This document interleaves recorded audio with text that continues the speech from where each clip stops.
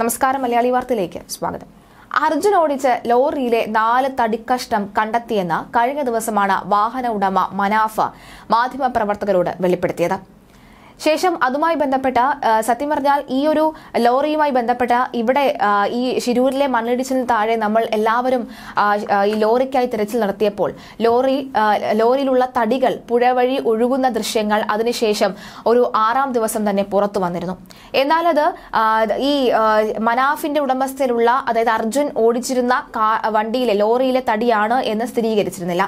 എന്നാൽ കഴിഞ്ഞ ദിവസം രാത്രി പി ഫോർ എന്ന നമ്പർ എഴുതിയിരുന്ന അതായത് തന്റെ തടിയാണ് എന്ന് മനാഫിന്റെ തടിയാണ് എന്ന് തിരിച്ചറിയാൻ കഴി- കഴിയും തരത്തിൽ ഒരു നമ്പർ എല്ലാ തടികളിലും ഇത്തരത്തിലുള്ള നമ്പറുകൾ ഇടാറുണ്ട്. അത്തരം നമ്പർ കേന്ദ്രീകരിച്ച് നോക്കിയപ്പോൾ അത് മനാഫിന്റെ തടി തന്നെയാണ്. അതായത് അർജുൻ കൊണ്ടുവന്ന ലോറിയിലെ തടി തന്നെയാണ് എന്ന് വ്യക്തമാവുകയായിരുന്നു. ഇത് അവിടുത്തെ നാട്ടുകാരാണ് കണ്ടെത്തിയത്. നാട്ടുകാർ പറയുന്നതനുസരിച്ച് ഈ തടിയിൽ മുഴുവനും ഡീസലിന്റെ അംശമുണ്ട്. അതിന്റെ മണം നമുക്ക് നന്നായി അറിയാൻ സാധിക്കുന്നുണ്ടെന്നാണ് അവിടുത്തെ നാട്ടുകാർ പറയുന്നത്. അങ്ങനെയെങ്കിൽ ഡീസൽ അന്ന് ആ ഡീസലുമായി വന്നിട്ടുള്ള അല്ലെങ്കിൽ വണ്ടിയിലെ ഡീസൽ ചോർന്നിട്ടുണ്ടാകണം. അല്ലെങ്കിൽ അത്തരത്തിലുള്ള എന്തെങ്കിലും ഒക്കെ അപകടം സംഭവിച്ചിട്ടുണ്ടാകണം. ടാങ്കർ ലോറി മറിഞ്ഞ് ഈ പുഴയിലൊരു ഒരു സ്ഫോടനം ഉണ്ടാകാനുള്ള സാധ്യതയുണ്ട്. അല്ലെങ്കിൽ സ്ഫോടനം ഉണ്ടായി നടക്കമുള്ള കാര്യങ്ങൾ അവിടുത്തെ നാട്ടുകാർ പറഞ്ഞിരുന്നു. എന്നാൽ അത് പൂർണമായി തള്ളുകയായിരുന്നു എസ് പി ചെയ്തിരുന്നത്.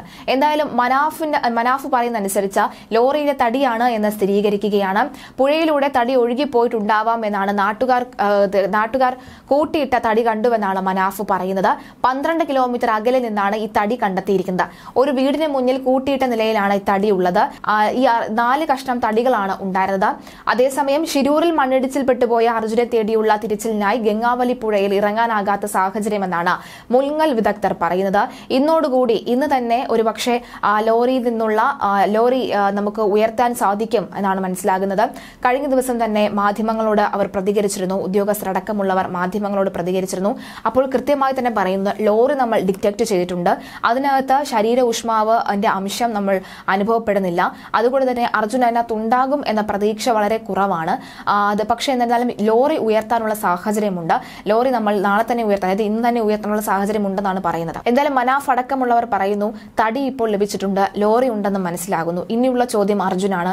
അർജുനെയാണ് ഇനി വേണ്ടത് എന്നടക്കമുള്ള കാര്യങ്ങൾ പറയുന്നു. പക്ഷെ അപ്പോഴും ആദ്യഘട്ടത്തിലുണ്ടായ പലതരത്തിലുള്ള ഊഹാബോഹങ്ങൾ അതിനെക്കുറിച്ച് മനാഫ് ഇതുവരെ കൃത്യമായി പ്രതികരിക്കുന്നില്ല എന്ന് വേണം മനസ്സിലാക്കാൻ. എന്തായാലും ഈ ബൂം എക്സ്കവേറ്റർ സ്ഥലത്ത് എത്തിച്ചതിന് ശേഷമുള്ള തിരച്ചിലാണ് കൃത്യമായി കാര്യങ്ങൾ മനസ്സിലാകുന്നത്. ശരീര ഊഷ്മാവ് അവിടെ ഇല്ല എന്ന് തന്നെയാണ് വ്യക്തമാകുന്നത്.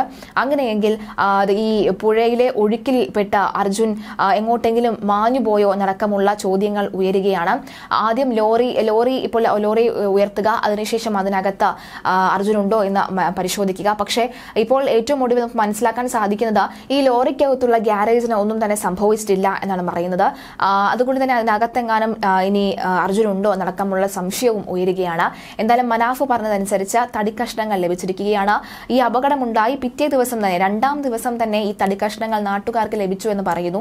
അങ്ങനെയെങ്കിൽ രണ്ടാം ദിവസം തന്നെ അർജുൻ ഒഴുക്കിൽപ്പെട്ടു നടക്കമുള്ള ചോദ്യങ്ങളുണ്ട്. അങ്ങനെ ഒഴുക്കിൽപ്പെട്ടിട്ടുണ്ടെങ്കിൽ മറ്റ് മൃതശരീരങ്ങൾ കിട്ടിയതിന്റെ കൂടെ അർജുന്റെ എന്തെങ്കിലും ഒരു ഒരു വസ്ത്രത്തിന്റെ അടയാളമോ എന്തെങ്കിലുമൊക്കെ തന്നെ ലഭിക്കേണ്ടതല്ലേ എന്ന് ചോദിക്കുന്നു. കഴിഞ്ഞ ദിവസവും മൃതശരീരത്തിന്റെ പകുതി ഭാഗം ലഭിച്ചിരുന്നു. അത് അർജുന്യതല്ല എന്ന് സ്ഥിരീകരിച്ചിട്ടുണ്ട്. എന്തായാലും അത് അത്തരം ഒരു ആശ്വാസ വാർത്ത കൂടി പുറത്തു വരികയാണ്.